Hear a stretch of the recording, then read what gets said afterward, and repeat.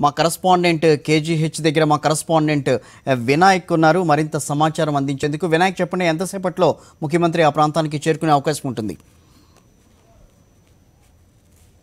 ఇప్పుడే విశాఖపట్నం ఎయిర్పోర్ట్లో ముఖ్యమంత్రి వైఎస్ జగన్మోహన్ రెడ్డి ప్రత్యేక హెలికాప్టర్లో రావడం జరిగింది. ఈ ప్రమాదంలో ఎవరైతే తీవ్రంగా గాయపడ్డా అంటే తీవ్రంగా ఎవరైతే అస్వస్థకు గురయ్యారో వారందరినీ పరామర్శించడం కోసం మరి కాసేపట్లోనే ఆయన కేజీహెచ్ ప్రాంతానికి రాబోతున్నారు. మొత్తంగా మనం చూస్తే కనుక కేజీహెచ్లో ఈ రోజు ఉదయం నుంచి కూడా ప్రమాదం జరిగిన వెంటనే ఇక్కడ వైద్య సిబ్బంది కానీ జిల్లా యంత్రాంగం కానీ చాలా వేగంగా స్పందించింది. ఈ నేపథ్యంలో ఇప్పుడు మనం చూస్తే ఇక్కడ రెండు వందల పదమూడు మంది వరకు కూడా ఇక్కడ ఇక్కడ చికిత్స పొందుతున్నారు. ఇందులో రెండు వందల పదమూడులోనూ దాదాపుగా నలభై ఐదు మంది చిన్నపిల్లలు కూడా ఉన్నారు. ప్రస్తుతం మనం ఇక్కడ రాజేంద్ర ప్రసాద్ వార్డు దగ్గర ఉన్నాం. ఈ వార్డు దగ్గర ముఖ్యమంత్రి వైఎస్ జగన్మోహన్ రెడ్డి బాధితులందరినీ కూడా పరామర్శించడానికి మరి కాసేపట్లోనే రాబోతున్నారు. ఈ రోజు ఈ ప్రమాద సంఘటన తెలిసిన వెంటనే రాష్ట్ర ప్రభుత్వం చాలా వేగంగా స్పందించింది. వెంటనే స్థానికంగా జిల్లా యంత్రాంగాన్ని అప్రమత్తం చేయడంతో పాటు జిల్లా యంత్రాంగం కూడా వెను వెంటనే ప్రమాదం జరిగిన వెంటనే సంఘటనా స్థలానికి అధికార యంత్రాంగం చేరుకోవడం జరిగింది. ఈ నేపథ్యంలోనే ఇక్కడ మనం చూస్తే ప్రత్యేకంగా ఎవరైతే బాధితులు ఉన్నారో వారందరినీ కూడా హుటాహుటిన ఆసుపత్రికి తరలించడంతో పాటు ఆసుపత్రిలో చేరిన వారందరికీ కూడా మెరుగైన వైద్య చికిత్స అందించడం కోసం అక్కడ మెరుగైన వైద్య చికిత్స తీసుకురావడం కోసం కూడా అందించడం కూడా కోసం ప్రత్యేకమైన వైద్య బృందాలు కూడా ఏర్పాటు చేయడం జరిగింది. ఇక్కడ చూస్తే మెరుగైన వైద్య సిబ్బంది అంటే వైద్య బృందాలు కానీ లేదంటే కనుక ప్రత్యేకంగా ఇక్కడ మనం జిల్లా యంత్రాంగం కానీ ఉదయం నుంచి కూడా ఇక్కడ ఎప్పటికప్పుడు వారందరికీ కూడా వైద్య వైద్యం అందించే విధంగా ప్రత్యేకంగా చర్యలు చేపట్టారని చెప్పుకోవచ్చు. ఇక్కడ మనతో పాటు మంత్రి బొత్స సత్యనారాయణ గారు ఉన్నారు. ఆయన సహాయక చర్యలు పర్యవేక్షించడంతో పాటు సంఘటన తెలిసిన వెంటనే ఈ ప్రాంతానికి చేరుకోవడం జరిగింది. బాధితులందరికీ కూడా మెరుగైన వైద్య సేవలు అందించాలి. అవసరమైతే బాధితులకు మెరుగైన వైద్య సేవల కోసం ప్రైవేట్ ఆసుపత్రికి కూడా తరలించి వారికి కార్పొరేట్ వైద్యం అందించడానికి కూడా రాష్ట్ర ప్రభుత్వం ఆదేశించింది. ప్రస్తుతం మనతో పాటు మంత్రి బొత్స బొత్స సత్యనారాయణ గారు ఆయనతో మాట్లాడదాం. సార్ ప్రస్తుతం సహాయ కార్యక్రమాలు ఏ విధంగా ఉన్నాయి? ఆంధ్ర పరిస్థితి అవుట్ ఆఫ్ డేంజర్ అని చెప్తున్నారు. ఇప్పుడు ఎలా ఉంది పరిస్థితి ఇక్కడ అసలు?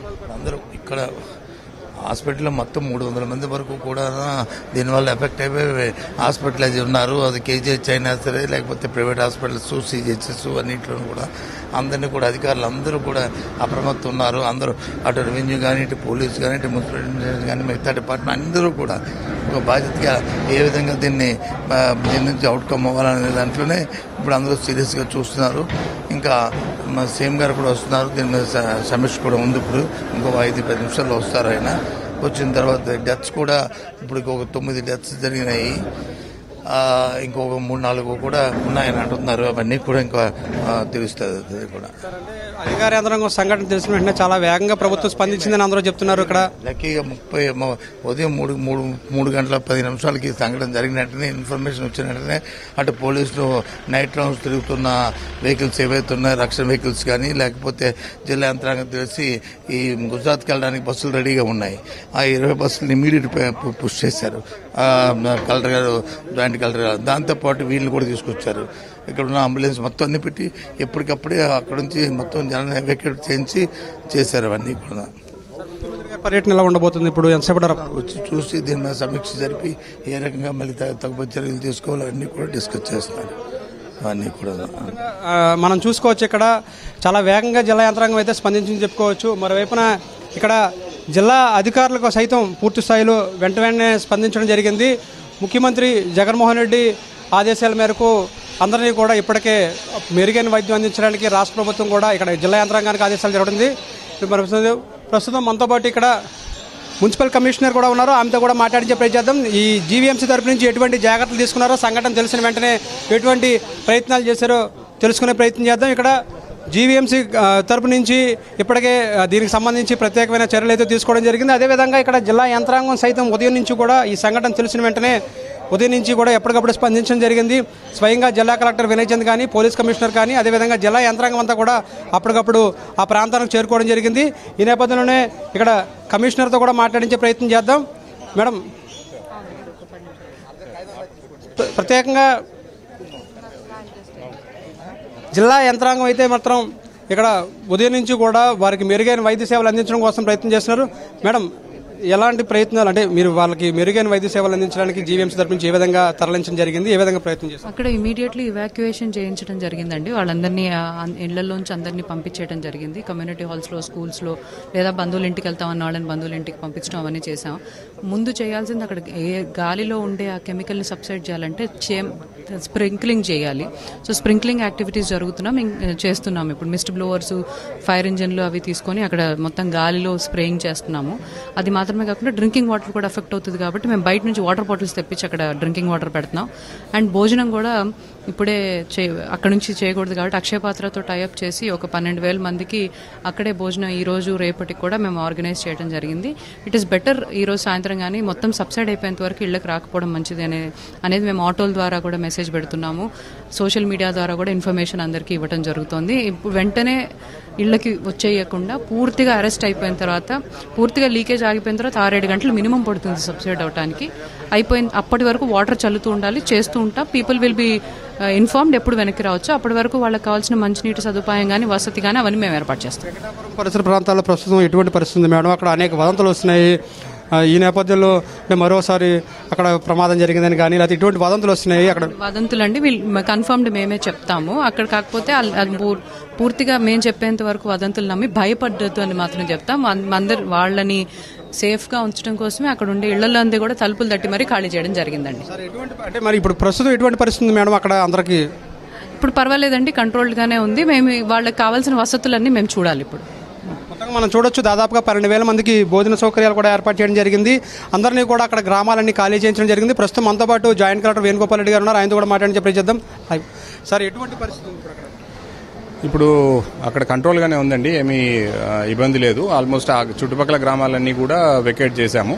ఇప్పుడు అక్కడికి భోజనాలు అవన్నీ కూడా పంపడం జరిగింది. సో ఇప్పుడు దాదాపుగా ఒక మూడు వందల పదిహేను మంది అన్ని రకాల హాస్పిటల్స్లో ఉన్నారు. అందరూ కూడా సేఫ్గా ఉన్నారు. ఎక్కడ ఏ రకమైన ఇబ్బంది లేదు. So except that few casualties in the happen in the morning మిగిలినంతా కూడా ఇబ్బంది లేదండి. అంత బాగానే ఉన్నారు.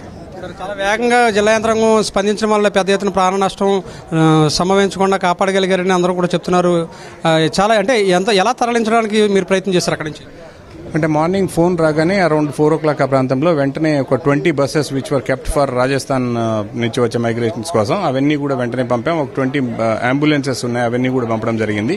సో పంపి వెంటనే ఎక్కడ వరకు యాక్సెస్ చేయగలిగామో వాళ్ళందరినీ కూడా షిఫ్ట్ చేసేసాము. యాక్సెస్ చేయలేని కొన్ని ఇల్లు ఒక ఇరవై ఇరవై ఐదు ఇల్లు కొంత ఎక్కువ పంజెంట్ ఉండడం వల్ల వెళ్ళలేకపోయాం. దాని తర్వాత కొంచెం తగ్గిన తర్వాత వెంటనే వెళ్ళాము. అక్కడ లోకల్ విలేజెస్ కూడా అందరు సపోర్ట్ చేశారు. అడ్మినిస్ట్రేషన్ అందరం కూడా అక్కడే ఉండి పోలీస్ ఫైర్ రెవెన్యూ అందరూ. సో మీ అందరినీ కూడా బయటికి తీసుకురాగలిగాం. ఎక్కడ ఏమి ఇబ్బంది లేదు. ఇప్పుడు ఎవరైనా చిక్కుకుపోయిన వాళ్ళు ఎవరైనా అక్కడ ఉన్నారా? వారిని రెస్క్యూ చేసే ప్రయత్నం ఏమైనా జరిగిందా? వారందరూ అంటే కొంతమంది తలుపులు వేసుకుని లోపల ఉన్నారంటున్నారు. కొంతమంది అక్కడే కొంతమంది పడిపోయారు అంటున్నారు అంటే అనేక రకాల వదంతులు వస్తున్న నేపథ్యంలో ఎవరైనా అక్కడ చిక్కుపోయిన పోయిన వాళ్ళని రక్షించడానికి ఏం జరిగింది?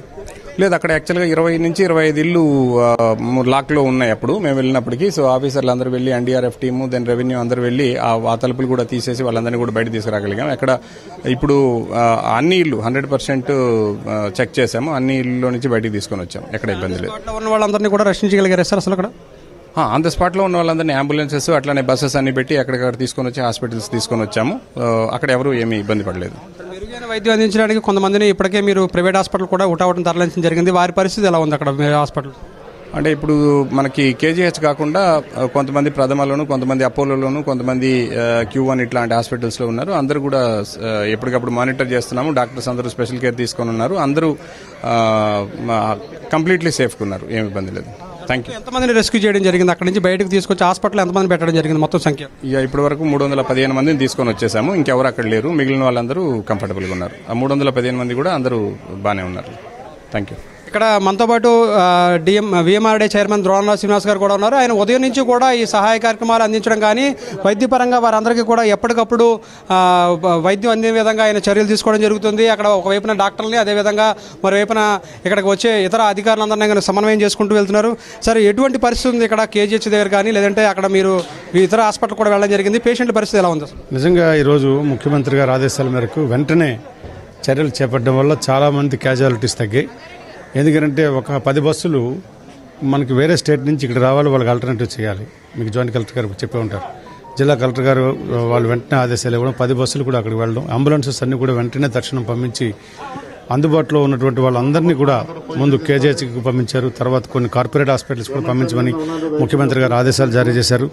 ఇక్కడ కేజీహెచ్లో దాదాపు రాగానే ఒక వృద్ధులు ఇద్దరు చనిపోయారు పాపం. చంటి పిల్లడు ఒకటి చనిపోయాడు. మిగతా వాళ్ళందరూ కూడా సేఫ్గా ఉన్నారు. పిల్లల్ని ఇమ్మీడియట్గా స్పెషల్ అటెన్షన్ కేర్ తీసుకుని డాక్టర్లు వెంటనే వాళ్ళకి కావాల్సినటువంటి ప్రాథమిక చికిత్స చేసి చిల్డ్రన్ వాటికి షిఫ్ట్ చేశారు. వాళ్ళందరూ కూడా సేఫ్గా ఉన్నారు. ఒకటి రెండు కేసులు క్రిటికల్గా ఉన్నా అవన్నీ కూడా ఇప్పుడు నార్మల్ అయ్యాయి. It will take another two three days పడుతుంది అంతే. అలాగే మిగతా రాజేంద్ర ప్రసాద్ వార్డులోని ఇక్కడ అలాగే అపోలోని ప్రథమాలోని కేర్ హాస్పిటల్లోని ఇంకా వివిధ హాస్పిటల్స్లో వాళ్ళందరూ కూడా సేఫ్గా ఉన్నారు. ఇంకా ముఖ్యమంత్రి గారు ఇవాళ ఆయన తీసుకున్నటువంటి చొరవ అలాగే ఆయన వచ్చి మనోధైర్యాన్ని ఇచ్చి ఇంకా ఇటు వైద్యులు పోలీస్ వ్యవస్థ అటు యంత్రాంగం అలాగే అక్కడ ఉన్నటువంటి ప్రజలు ఆర్ఆర్ వెంకటాపురం హిందుస్థాన్ పాలిమర్స్ ప్రాంతంలో ఉన్నటువంటి ప్రజలందరూ కూడా ప్యానిక్ అవుతున్నారు. అట్లాంటివి కాకుండా చర్యలు చేపట్టినందుకు అన్ని రకాలుగా కూడా తీసుకుంటున్నారు. ముఖ్యంగా ఉదయం నుంచి కూడా లేకపోతే చాలామంది ప్రాణాలు కోల్పోయేవారు. చాలామంది ప్రాణాలు కోల్పోయేవారు. వాళ్ళందరూ ఇవాళ సేఫ్గా ఉన్నటువంటి పరిస్థితి ఇవాళ ఏర్పడింది. ఆ, ఆ సందర్భంగా ముఖ్యమంత్రి గారికి ధన్యవాదాలు. ఇప్పుడు అంటే ఇప్పుడు ప్రస్తుతం మనం చూస్తే కనుక వివిధ ప్రైవేట్ ఆసుపత్రుల్లో కూడా మనం చాలా మందిని పెట్టడం జరిగింది అక్కడ తరలించడం జరిగింది హుటాహుటిన సంఘటన తెలిసిన వెంటనే వారందరినీ కూడా రక్షించడం జరిగింది. అందరి పరిస్థితి ఎలా ఉంది ఇప్పుడు ప్రస్తుతం? ఇప్పుడు అపోలో నుంచి కూడా మేము కోఆర్డినేట్ చేస్తారండి మా ఆఫీసర్స్ మెడికల్ డిఎంఎండ్ హెచ్ఓ.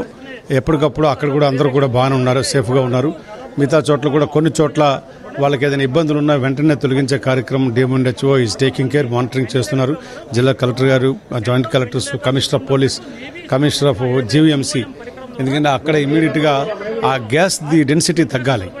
దానికి కావలసినటువంటిది కూడా గుజరాత్ వాళ్ళతో మాట్లాడి దానికి యాంటీ ఇది చేయనందుకు కావలసినటువంటి చర్యలన్నీ కూడా చేపడుతున్నారు.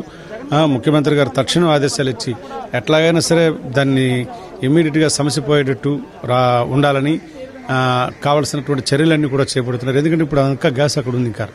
సో ఆ గ్యాస్ని డెన్సిటీ తగ్గించాలి దాని యాంటీ ఇది కావాలి దానికి దానికి అన్ని కూడా చేపట్టారు. ఆ రకమైనటువంటి చర్యలన్నీ చేపడుతున్నారు. సార్ ప్రస్తుతం పేషెంట్ల పరిస్థితి ఎలా ఉంది? ఎంతమందిని మనం రక్షించగలిగాము అసలు? ఎలాంటి పరిస్థితి నుంచి మనం బయటపడ్డామని చెప్పుకోవచ్చు? ఇంతవరకు కూడా మనకి మూడు వందల పదహారు మందిని మనం చూస్తాము. చూసాము మూడు వందల పదహారు మంది కూడా స్టేబుల్ స్టేబుల్గా ఉన్నారు. వాళ్ళందరూ కూడా రికవరీ అవుతున్నారు. కొందరు ఆల్మోస్ట్ రికవరీ అయిపోయారు కూడా ఇది సిక్స్ అవర్స్ వరకు దీని తాలూకా ఎఫెక్ట్ ఉంటుంది కాబట్టి మనకి చాలా మంది కూడా సేవ్ అయ్యారు. వెంట వెంటనే హాస్పిటల్స్కి రావడం మనం అందరం ఎవాక్యుయేట్ చేసి వాళ్ళందరం తీసుకురావడం వల్ల ఆ, చాలా మంది సేవ్ అయ్యారు సార్ అంటే ఇప్పుడు వారు ఎటువంటి జాగ్రత్తలు తీసుకోవాల్సి ఉంటుంది? వారికి సంబంధించి వైద్యపరంగా మీరైనా? వారికి మీ భాష అంటే ఇటువంటి జాగ్రత్తలు తీసుకోవాలని నచ్చ చెప్పబోతున్నాను నేను ఆల్రెడీ మనం హెల్త్ అడ్వైజరీ ఒకటి ఇష్యూ చేశామండి. డిఎంఎన్హెచ్ఓ సైడ్ నుంచి కలెక్టర్ గారి ద్వారా ఒకటి చేయడం జరిగింది. ఈ వాటర్ ఎక్కువగా దాన్ని వెదజల్లాలి. అక్కడ ఎక్కడైతే ప్రదేశం ఉందో ఆ ప్రదేశం అంతా కూడా స్ప్రే చేయడం వాటర్ స్ప్రింక్లింగ్ అది చేయాలి. అలాగే వెట్ మాస్కింగ్ అందరూ కూడా వెట్ మాస్కులు ధరించాలి ఆ, రెండవది ఏంటంటే ఎప్పటికప్పుడు వారితో వేసుకున్న దుస్తులన్నీ మార్చాల్సిన అవసరం ఉంటుంది. ఇంకా సిమ్టమాటిక్ ట్రీట్మెంట్ మిగతాదంతా సిమ్టమాటిక్ ట్రీట్మెంట్ తీసుకుంటే సరిపోతుంది. అంటే వారు ఎటువంటి ఆహారాన్ని తీసుకోవడం కానీ లేదంటే వారు ఎటువంటి జాగ్రత్తలు తీసుకోవడం కానీ చేయాల్సి ఉంటుంది? ఎక్కువగా ద్రవ పదార్థాలు తీసుకోవాలి. ఇప్పుడు అంతా కూడా ఎక్కువ ఎక్కువ ఎందుకంటే ఇది థర్స్ట్ ఫీల్ అవుతాడు దాహం ఎక్కువ వస్తుంది. అలాగే వామిటింగ్స్ కూడా అవుతాయి. కాబట్టి దానికి సంబంధించి వామిటింగ్స్కి మనం సిమ్సమాటిక్ ట్రీట్మెంట్ ఇస్తున్నాము. ఇది ఏదైతే ఉందో దానికి అందరికీ కూడా ఎక్కువ ఫ్లూయిడ్స్ తీసుకోవాల్సిన అవసరం ఉంటుంది. అంటే ఈ గ్యాస్ని పీల్చడం వల్ల జరిగే దుష్ఫలితాలు ఏ విధంగా ఉండబోతాయి? పీల్చడం వల్ల వారికి జరిగే అంటే శరీరంలో వచ్చే మార్పులు ఎలా ఉంటాయి అసలు? అంటే ఈ సిక్స్ అవర్స్ తర్వాత చాలా వరకు రికవర్ అయిపోతారండి. ఇది సెంట్రల్ నర్వస్ సిస్టమ్ మీద కొంచెం పనిచేస్తుంది. గ్యాస్ట్రో ఇంటెస్టైనల్ సిస్టమ్ మీద చాలా ఎక్కువగా పనిచేస్తుంది. సో ఎప్పటికప్పుడు మనం బట్టలు మార్చుకోవడం ఎక్కువగా వాటర్ తీసుకోవడం అది చేయాల్సిన అవసరం ఉంటుంది. లాంగ్ టర్మ్లో పెద్దగా దీనికి ఉండకపోవచ్చు. కానీ సెంట్రల్ నర్వస్ సిస్టమ్ మీద మాత్రం పనిచేస్తుంది. గ్యాస్ ప్రభావం ఎలా ఉండబోతుంది అంటే మనిషి శరీరం మీద ఆ గ్యాస్ లీక్ అయిన తర్వాత కొంతమంది అపస్మారక స్థితికి చేరుకోవడం జరిగింది కొంతమంది కోమాకు చేరుకోవడం జరిగింది కొంతమంది మెదడు మీద ఆ ప్రభావం ఎక్కువ చూపించింది. దాంట్లోంచి బయటపడాలంటే ఇమీడియట్గా మీరు చేస్తున్న వైద్య ప్రక్రియ ఏంటి? ఎక్కడైతే మనకి అవసరం ఉందో ఆక్సిజనేషన్ చాలా ఇంపార్టెంట్. హై కాన్సన్ట్రేషన్ ఆక్సిజన్ ఇవ్వాలి దీనికి. హై కాన్సన్ట్రేషన్ ఆక్సిజన్ సప్లిమెంటేషన్ చేస్తే అందరూ రికవర్ అవుతారనమాట సో దీనికి వెంటిలేటర్ సహాయం అవసరమైతే వెంటిలేటర్ను కూడా అమర్చడం జరుగుతుంది. మనం ఆల్రెడీ మనం ఇక్కడ ఆరు ఆరుగురిని మనం కేజీహెచ్లో పెట్టి వెంటిలేటర్ మీద పెట్టడం జరిగింది. సో ఆక్సిజన్ ఎక్కువ సప్లిమెంట్ చేస్తే సరిపోతుంది. మరి ఇప్పుడు కొంతమంది అంటే మనం నేవల్ డాక్యార్డ్ ఇటీవల తయారు చేస్తున్న ఆక్సిజన్ సిలిండర్స్ అంటే ఒకే ఒక ఆక్సిజన్ ద్వారా ఆరుగురికి ఒకేసారి ఆక్సిజన్ అందించే ప్రక్రియను వాళ్ళు శ్రీకారం చుట్టడం జరిగింది. దానికి మనం ఏమైనా తీసుకున్న తర్వాత వాళ్ళ దగ్గర నుంచి ఎలా ఉంది? దాన్ని చేసుకున్నామంటే వాళ్ళు కూడా మనకి ఇక్కడ యూజ్ఫుల్గా ఉంది. అది చేస్తున్నామండి. ఓకే. ప్రస్తుతం మనతో మనం చూసుకోవచ్చు ఇక్కడ మరి కాసేపట్లోనే ముఖ్యమంత్రి వైఎస్ జగన్మోహన్ రెడ్డి ఈ ప్రాంతానికి చేరుకోబోతున్నారు. ఆయన ఇప్పటికే విశాఖ ఎయిర్పోర్ట్ నుంచి బయలుదేరడం జరిగింది. ఈ నేపథ్యంలోనే మరి కాసేపట్లో అంటే కొద్ది క్షణాల్లో ఆయన ఇక్కడికి రాబోతున్నట్టుగా మనకు సమాచారం అందుతుంది. ఈ నేపథ్యంలోనే ఇక్కడే ఇప్పటి వరకు మనం చూస్తే కనుక రాజేంద్ర ప్రసాద్ వార్డులో ఇప్పటికే రెండు వందల పదమూడు మంది బాధితులు ఉన్నారు. వారందరినీ కూడా ముఖ్యమంత్రి జగన్మోహన్ రెడ్డి పరామర్శించబోతున్నారు. ఈ లోపు